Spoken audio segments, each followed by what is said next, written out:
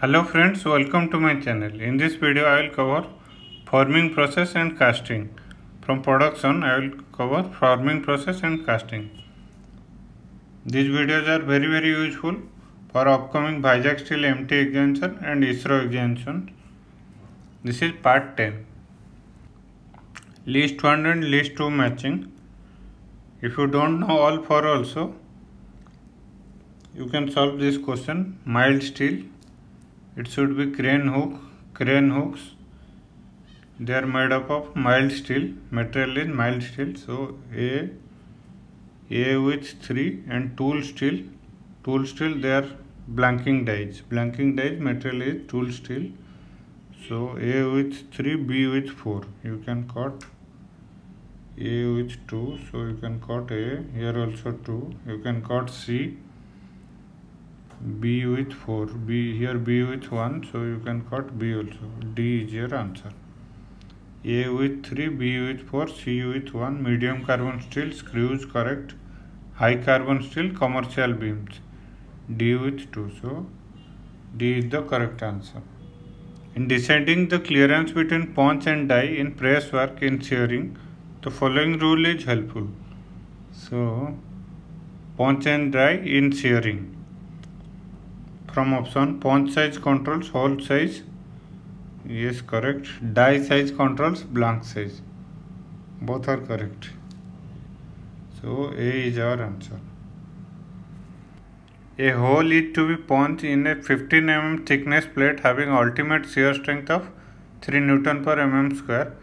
If the allowable crossing stress in the punch is 6 newton per mm square, the diameter of the smallest hole which can be punched is equal to So for this question, we'll consider punching and shearing. Punch, crossing stress for punch and shearing stress for that plate material.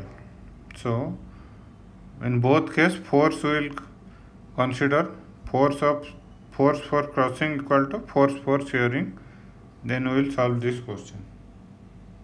So data given are thickness T equal to 15 mm, then ultimate shear strength is 3 Newton per mm square, then crossing stress, this is for paunch, is 6 Newton per mm square.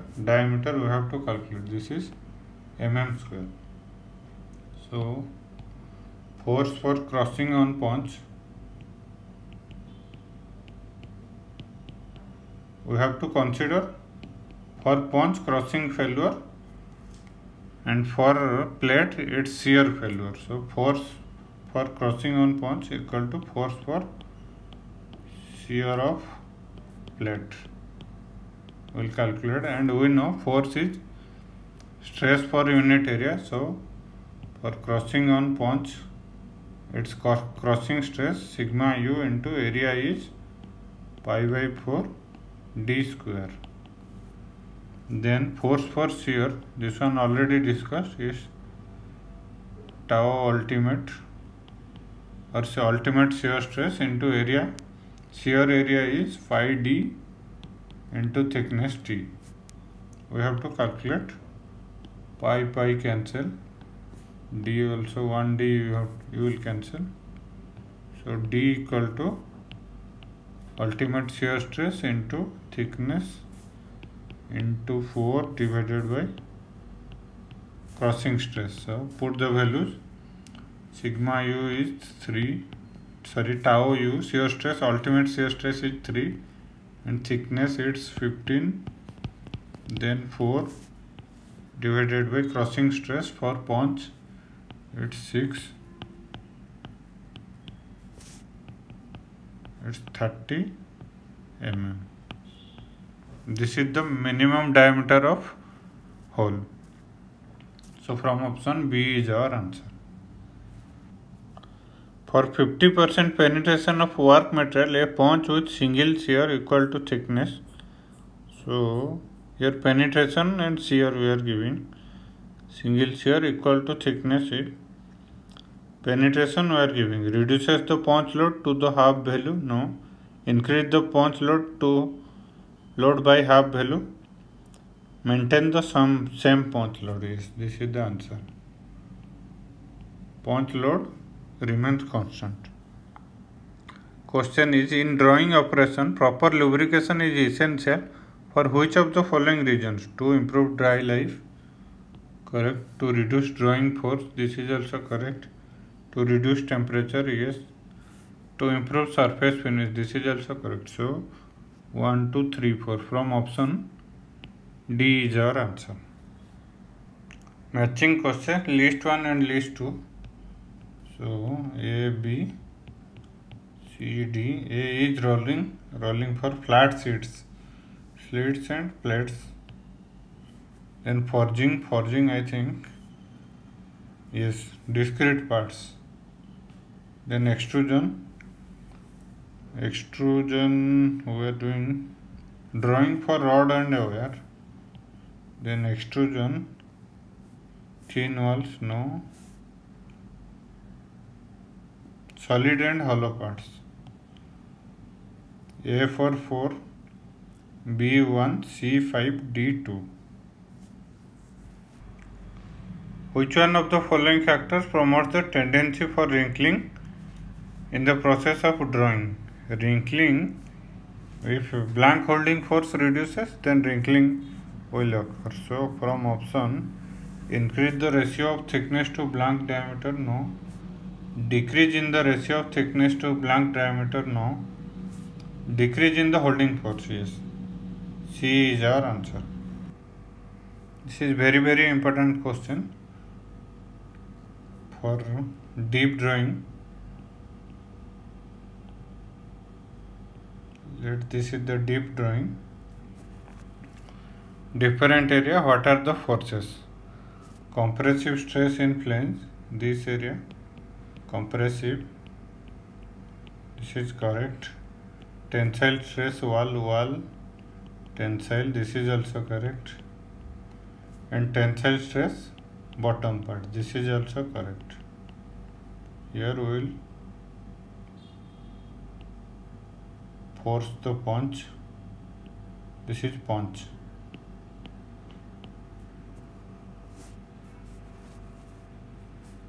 So from option 1 to 3.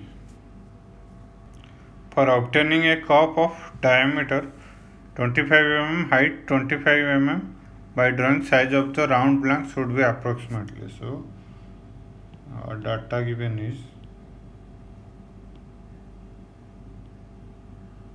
its height given 15 mm diameter is here 25 mm this is small d small d is this diameter and height is from here to here we have to calculate size of the round blank so capital D you have to calculate and we know pi by 4 d square it's equal to pi, pi by 4 this area small d square plus this one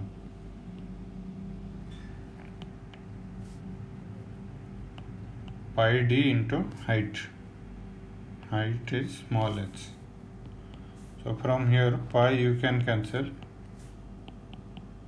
d square equal to 4 into small d square by 4 plus 4 dh then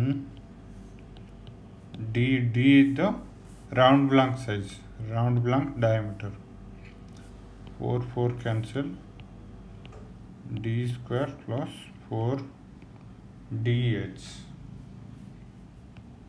this is the root over this is the case when corner radius is corner radius here corner radius small r but in this question corner radius not mentioned is greater than 20 this is the case not mentioned, mentioned so take this one put the value d square it's 25 square plus 4 d is 25 h is 15 it's root over it's uh, 25 root over 625 plus 100 into 15 1500 you will get 2125 2125 so you have to do the root over if you square from the options you will get a not possible b also not possible c is our answer it's approximation method you have to do same question with different values a cell of 100 mm diameter it's similar question 100 mm height with corner radius 0.4 mm it to be produced by cop drawing so r value given cell is like this here corner radius this is R value smaller corner radius small d and height is from here to here h d value is 100 mm then height also 100 mm r value is 0.4 mm direct first d by r you check 100 by 0.4 1000 by 4 it's 250 so d by r is greater than 20 blank diameter is d square plus 4dh root over 100 square plus 4 into 100 into 100 root over so 100 square take common 1 plus 4 it's 5 so 5 root over is 2 point something 100 into 2 point something so you will get more than 200 so 225 this is your answer in get they will allow calculator so no need to worry 224 is our answer c is our answer Question is the mode of deformation of the metal during spinning. During spinning, bending also we are doing, stretching also we are doing. So bending and stretching, D is the answer. Question is which one of the following is a continuous bending process in which opposite rolls are used to produce long sections of form sets from coil or strip stock stretch forming no roll forming no roll bending c is our answer question is which one of the following metals forming process is not a high energy rate forming process it's not a high energy rate forming process electromechanical forming this is high energy forming explosive forming also electro hydraulic also high energy so our answer is not a high energy roll forming. B is our answer. Which one of the following is a high energy rate forming process? High energy rate forming already discussed. Roll forming no. Rotary forging or swagging this is also no. Forward extrusion no. Electrohydraulic forming B is our answer. This one also already discussed.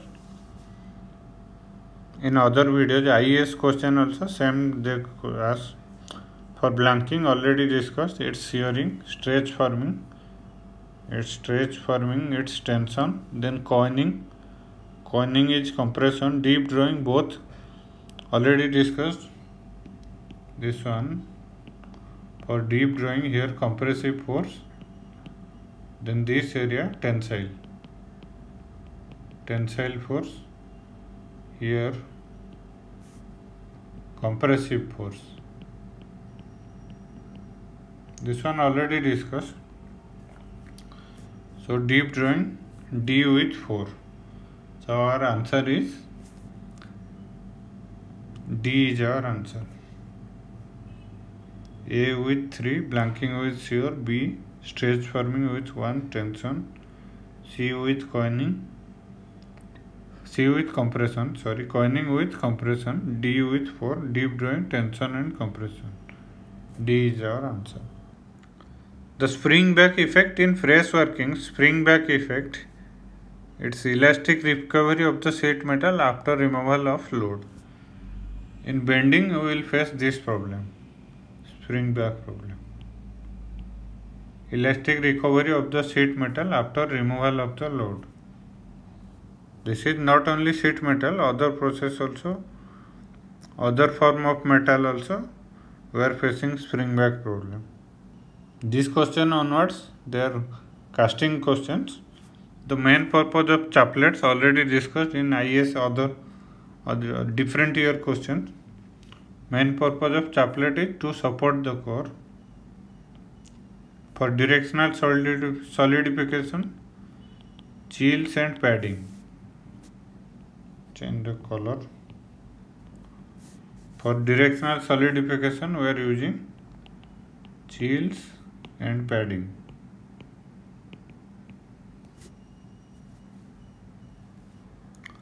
which one of the following is the correct statement this is is question gate is provided in molds in mold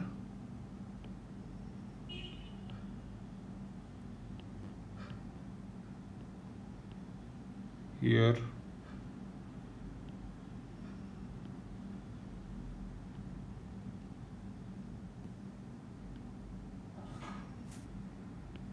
this is riser here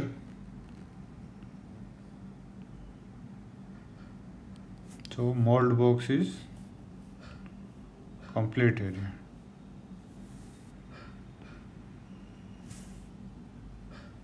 parting line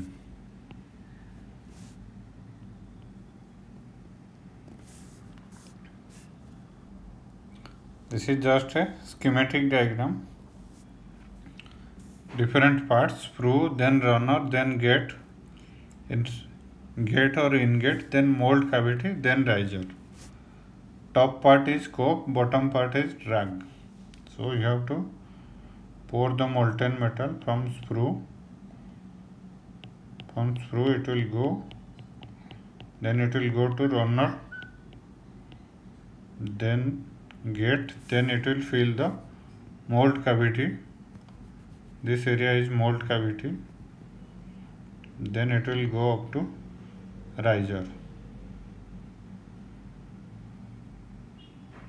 riser function and screw runner these things another question i will discuss so in this question gate is provided here this is gate get is the small opening it's feed the casting at constant rate a is our answer and for compensation of shrinkage we are giving riser and one more thing for riser is important it compensates liquid shrinkage and solidification shrinkage this is the end of this video part 10.